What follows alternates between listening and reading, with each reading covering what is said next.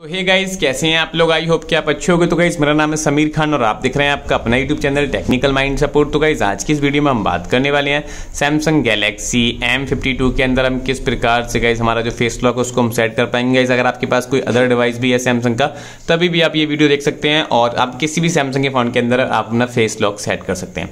तो वीडियो आपके लिए काफ़ी इंटरेस्टिंग रहने वाली है। सिंपल सिंपल से स्टेप्स हैं जो कि आपको फॉलो करने पड़ेंगे। तो चलिए गाइस सबसे पहले हम सेटिंग के अंदर चलते हैं। तो सेटिंग पर हमने क्लिक कर लिया गाइस सेटिंग के अंदर आने के बाद गाइस यहाँ पे आपको काफ़ी सारे ऑप्शन देखने को मिल जाते हैं। बट गाइज़ हम यहाँ पे क्लिक करने वाले हैं बायोमेट्रिक एंड सिक्योरिटी वाले ऑप्शन पे तो इस पर आपको टैप कर लेना है।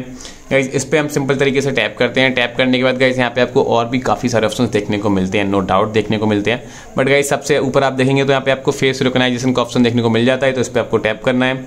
इस पर टैप करने के बाद गाइज़ आपको जो आपका करंट पासवर्ड है, वो आपको कंफर्म कराना पड़ेगा। तो गाइज़ मैं उसको यहाँ पे डाल के उसको कंफर्म करा देता हूँ, ठीक है? और नेक्स्ट करेंगे यहाँ पे हम। नेक्स्ट करने के बाद गाइज़ ये हमको बोल रहा है इनरोल योर फेस तो फेस रिकोनाइजेशन हमको इसके अंदर करना पड़ेगा, ठीक है? तो सैमसंग नॉक्स की आपको सिक्योरिटी देखने को मिल जाती है। तो मैं इसके अंदर कंटिन्यू करता हूँ।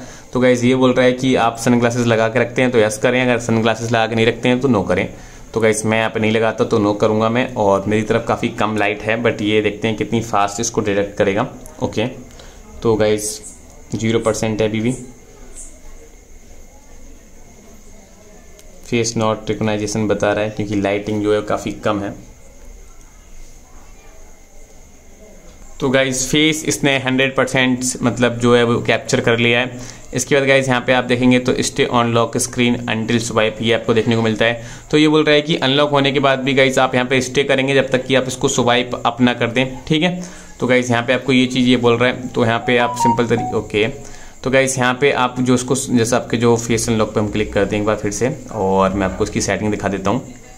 S A M double E R okay next तो गाइज़ इसके बाद यहाँ पे आप देखेंगे तो आपको क्या है कि यहाँ पे गाइज़ ऐड अल्टरनेटिव लुक कर सकते हैं आप इसके अंदर। एक और फेस लॉक इसके अंदर आप सेटअप कर सकते हैं।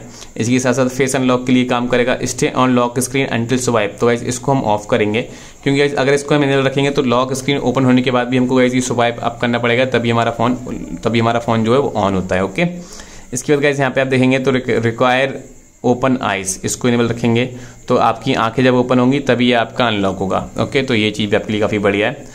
तो ब्राइट एंड स्क्रीन को भी आप इनेबल रखेंगे, जैसे लो लाइट होगी कहीं पे तो ये ऑटोमेटिकली आपकी स्क्रीन जो है ब्राइट हो जाएगी। ठीक है गाइस तो चलिए एक बार हम चेक करते हैं कि क्या ये हमारे फेस के साथ खुलता है नहीं खुलता है। वैसे मेरी फेस की तरफ़ काफ़ी कम लाइट है तो मैं यहाँ पे इसको सिंपल तरीके से लॉक करता हूँ। ओके तो मैं एक बार चेक करता हूँ।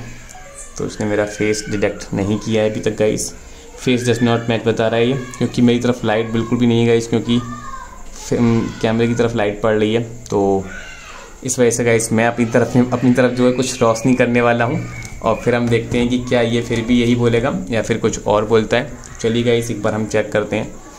तो मैंने एक लाइट अपनी तरफ़ ओपन घुमा मतलब अपनी तरफ़ उसका फेस कर लिया है।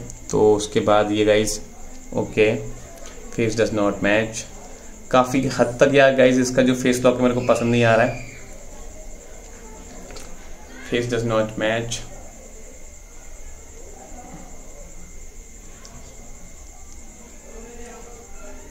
तो गाइज़ इसको बहुत सारी लाइट चाहिए मेरी तरफ़, मेरे फेस की तरफ़ करने के बाद। तब ये जाके गाइज़ ओपन हो रहा है, जो कि मेरे को मतलब इतनी अच्छी नहीं लगी बट इसको गाइज़ बहुत रोशनी चाहिए रहती है। तो गाइज़ आई होप कि आपको वीडियो अच्छी लगी। वीडियो अच्छी लगी तो वीडियो कर दें लाइक और चैनल को सब्सक्राइब तो गाइज़ हम मिलते हैं आपसे फिर किसी अगली इंटरेस्टिंग वीडियो में।